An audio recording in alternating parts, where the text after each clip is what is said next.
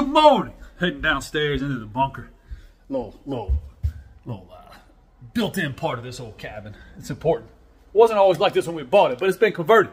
And uh, I got some exciting things to go over, man. Really exciting. What do we have here? What do we have here? This is pretty exciting, man. If you guys know me, know me for real. I'm not like a crazy, you know, uh, doomsday guy, but I'm a prepper, and I do uh, a little bit of boy, a bit of like you know, country boy knowledge, poor kid motivation with technology and funding that can now support it. So what is this and why do I have a cup? This is really cool, man. Let me Atmospheric water generator. Something you can literally plug in overnight, walk back in the morning, have a couple gallons of fresh water, literally ready to drink. So with no prep, with no anything, we're gonna walk up, we're gonna put our cup, we're gonna tell it to dispense.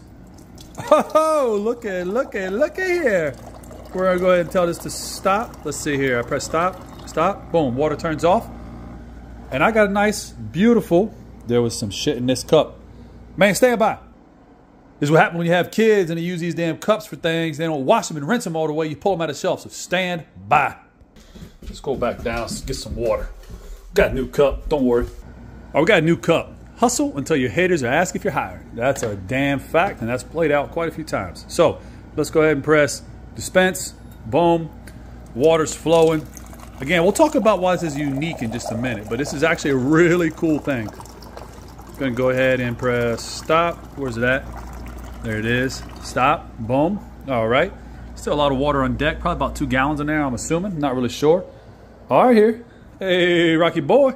So why is this let's really cool? Game. Let's take let's take a little taste test. You got, you got a taste test thing. So hold on a second.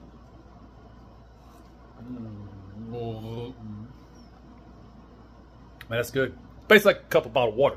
But why is this important? Why is this so unique? And I think everybody should have two or three in the All right, so house. a water generator, and really, what is a water generator? It's nothing but a fancy uh, dehumidifier with like an AC component to it. So you can make your own water very easily with an AC unit.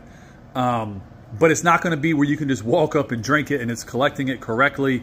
It's got a built-in pressurized uh, tri-chamber water filter.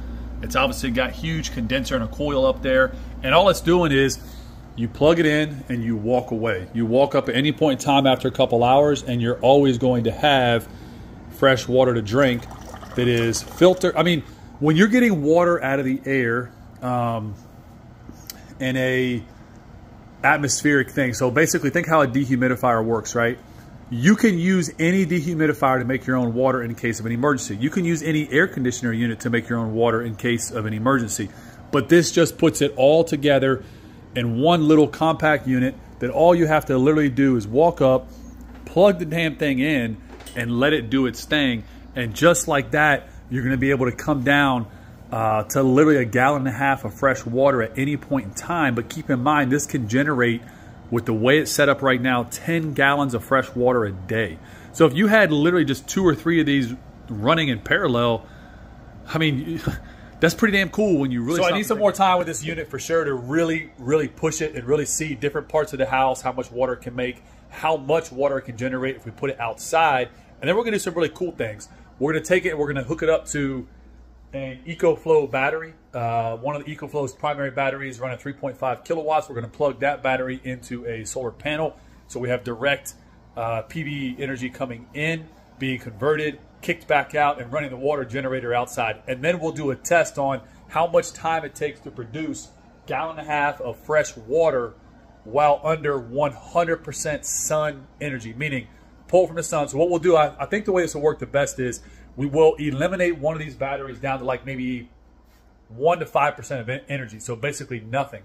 We'll then hook that up to a solar panel, plug it direct in, direct solar in, and immediately plug the water generator into the battery running off solar. And we'll be able to get a really good understanding of kind of 1,000 watt solar panel, not even a 1,000 watt. We're running 8 to 400. So 800 watts of solar into a battery, battery directly charging the Aquaphant, and we're going to see if that's enough to literally produce 100% off grid outside gallon and a half of water and how much time that will take. That, so seeing how one of the things they recommend is the first couple containers full just to uh, it's old little little drain for the old well pump right there. Old tankless hot water here. Don't get twisted. Yes, I'm very careful what I'm showing you with this camera right now. There's a lot more down here I don't want to have on camera. But again, you walk up any point in time of day, you have your liter you know, metal cool water bottle and you just, right before you leave the house, you're literally leaving with, I mean, just pure water, like pure water, no chemicals, no nothing, pure water, love it. Just three carbon filters in the back. You really don't even need filters to consume this water. You really don't. Um, but, you know, you wanted to, you could use it. Why am I pouring it out? I'm just running a couple glasses through this thing. Obviously, it's a new piece of uh, technology. I've already taken some sips on it. But one of the things they recommend is complete full level. Pour that water out, use it for your plants or whatever. Right now, I'm just pouring it back into my drain. But we're on well water as well, so it's not a big deal.